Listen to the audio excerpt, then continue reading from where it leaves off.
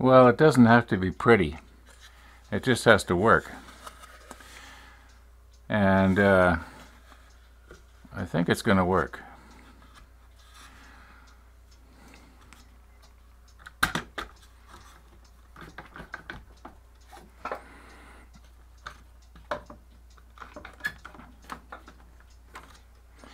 Okay, so it's clamped down.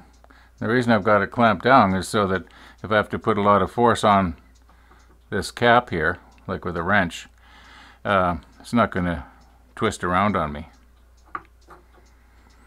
So, I think we should try it out. Uh, well, right now I'll just put some pressure on to show you that it does actually work. But I think we should actually do a blank.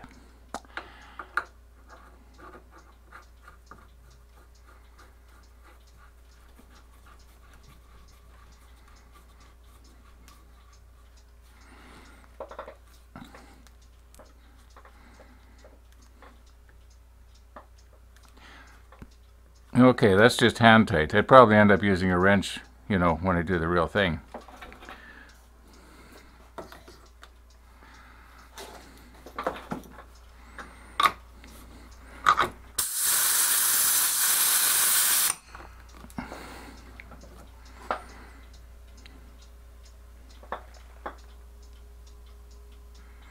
I don't hear anything. So right now, the uh, pressure inside there should be equal to uh, whatever my uh, compressor system's set at.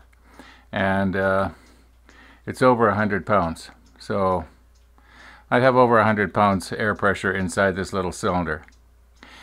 Uh, and um, I'm guessing that this would stand maybe well, I'm no expert, but I'm, I'm guessing a couple of thousand pounds pressure before it would burst.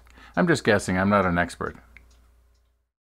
Now I've discovered here that the outside diameter of the plastic pipe is pretty much the same as the inside diameter of the steel pipe. So in other words, it's a pretty tight fit. And I could probably make it fit if I was to pound it in, but then I wouldn't be able to get it out. So the uh, kerf on the bandsaw is uh, almost a sixteenth of an inch. And so that'll narrow it in one direction. And if I sand it down, in the other direction.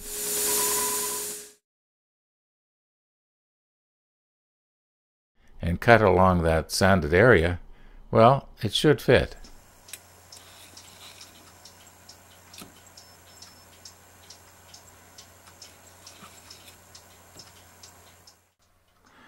Well, I've cut another little piece out of that branch that I found behind the shed in the backyard. And uh, what I'm going to do is I'm going to do the very best I can to infuse Envirotex right through into the center. Now I put my macro lens on here and I did a, a close-up of this end here. And you can see it uh, looks a lot better on the center than it does on the outside. So it's going to, possibly the Envirotex won't work its way right through to the center. We'll see. What I'll do is I'll cut it in half afterwards and look at it under a microscope and we'll, we'll build a tell.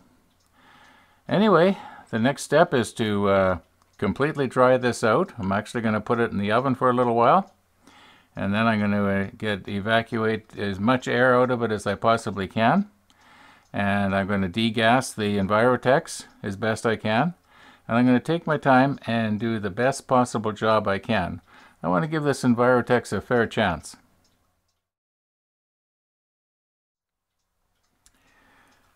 Well, it's in there. It's under about 115 pounds of pressure right now. And I went through the procedure pretty much the way I had described earlier.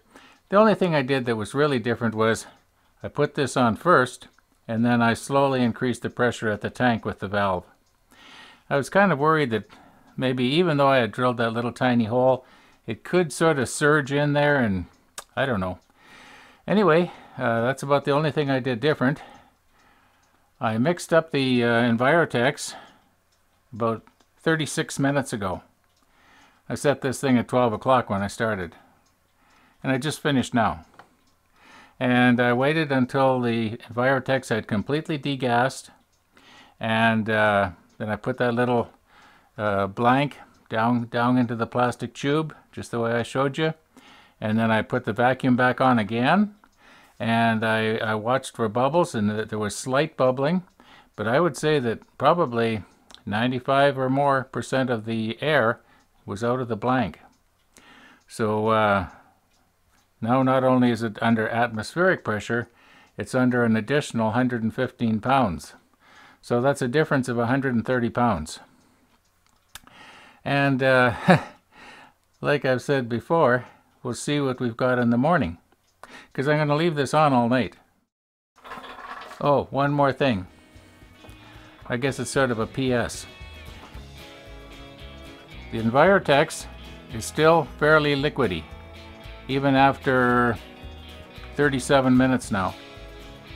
So, I don't know if you can see it or not, but trust me, it's sort of like syrup. I don't think it's any thicker right now than it was when I first mixed it up.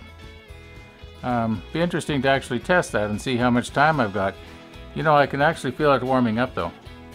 It's not hot, it's just warm.